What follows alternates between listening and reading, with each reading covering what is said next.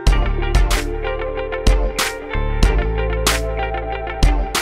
نشر موقع المراسل اليمني خبرا عن وفاة الممثل السوري قصي خولي وأن الحزن عم يعم المدن السورية وأشار الموقع إلى أن صفحات داعم للجيش السوري الحر على مواقع التواصل الاجتماعي توعدت الممثل قصي خولي بعد إدانته بوفاة الممثل محمد رافع مضيفا أن قصي حرص على نفي ما تردد عن لسانه من اتهامات لزملائه الفنانين ميسكاف وكند علوش وأصالة نصري المعارضين للنظام السوري بأنهم وراء مقتل زميلهم محمد رافع.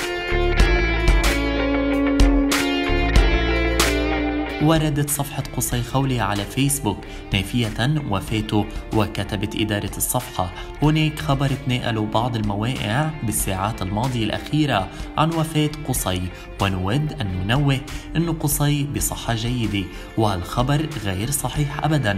وفي الأصل قصي متواجد خارج سوريا بالوقت الحالي.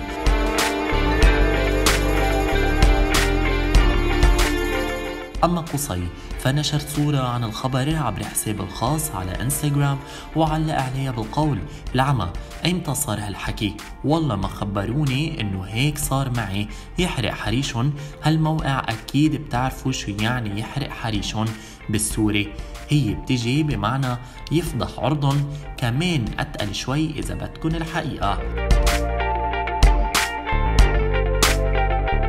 وبالعام الفائت تداولت مواقع التواصل الاجتماعي أنباء عن وفاة الممثل السوري قصي خولي بأحد مستشفيات العاصمة البريطانية لندن. وانشغل قصي منذ أشهر مع زوجته مديحة الحمداني عقب فضح مديحة لكذبه حول علاقته بابنه وأعلن أنه هاجرون من أمريكا من دون مساعدتهم الأمر اللي اضطر إلى العمل بتنظيف المنازل لتوفير مستلزمات ابنه. وبدور قصي عاد ورد على مديحة الحمداني بطريقة غير مباشرة إذ نشر مقطع فيديو على صفحته الخاصة عبر تويتر هو وعم يحضن ابنه.